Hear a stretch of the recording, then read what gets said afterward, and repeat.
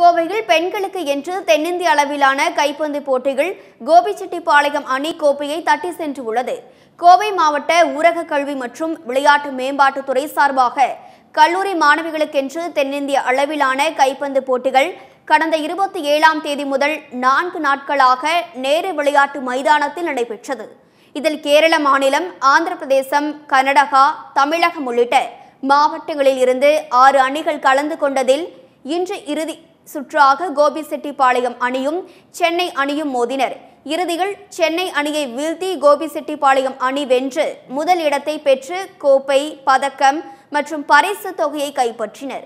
மேலும் மூன்று இடங்களை பெற்ற சென்னை கேரளா ஆந்திரா அணியிற்கு ஆறுதல் பரிசும் வழங்கப்பட்டது.